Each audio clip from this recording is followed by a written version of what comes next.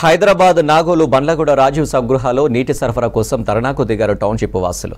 BRS హయాంలో lottery ద్వారా టౌన్షిప్ను కొనుగోలు చేశారు. దీనిపై అప్పుడే కోటి రూపాయల బకాయిలు పెండింగ్లో ఉన్నాయి. దీంతో ఈ నెల ఇరవై వరకు బిల్లులు చెల్లించకపోతే నీటి సరఫరా నిలిపివేస్తామని వాటర్ బోర్డు అధికారులు హెచ్చరించారు. బకాయిలు చెల్లించకుండా తమకు ఫ్లాట్లు అమ్మారని టౌన్షిప్ వాసులు ధర్నాకు దిగారు. తమకు న్యాయం చేయాలని ఆందోళన చేపట్టారు రావాలి రావాలి రావాలి రావాలి రావాలి GM GM GM GM GM water bill Ayush వాళ్ళు మాకు వాటర్ బిల్లు మీద ఒక కోటి రూపాయలు పెండింగ్ ఉందండి. ఆ విషయం మాకు తెలియకుండా మాకు మా చేత ఫ్లాట్స్ కొనిపించారు. ఇప్పుడు వాటర్ వర్క్స్ వాళ్ళు వచ్చి వాటర్ స్టాప్ చేస్తామని చెప్పేసి నోటీస్ ఇచ్చిపోయారండి. కానీ వీళ్ళు ఎటువంటి రెస్పాండ్ కావట్లేదు. రేపు వాటర్ ఇబ్బంది అయితే మాకు వాటర్ సోర్స్ అదే మాకు ఇక్కడ గ్రౌండ్ వాటర్ ఏమీ లేదు. మాకు మెయిన్ వాటర్ సోర్స్ అదే కాబట్టి ఖచ్చితంగా ఆ వాటర్ బిల్ మొత్తం ఖచ్చితంగా రాయలసీమ కట్టాలి.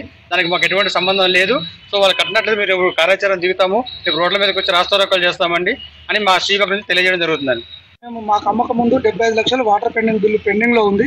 మాకు తెలియపరచకుండా మాకు మాయా మాటలు చెప్పి రాజేష్ శుక్రవారం ప్లాట్లు అమ్మడం జరిగింది. ఆ బిల్లు ఇంట్రెస్ట్తో సహా పెరిగి పెరిగి ఇప్పుడు కోటి పది లక్షలకు వచ్చింది.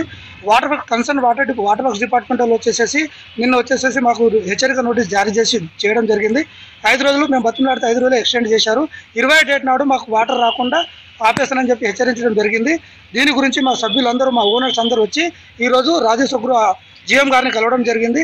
ఆయన కూడా సానుకూలంగా స్పందించి మీ ప్రాబ్లంను రేపే పై అధికారికి మిమ్మల్ని తీసుకొని ప్రాబ్లం సాల్వ్ చేసే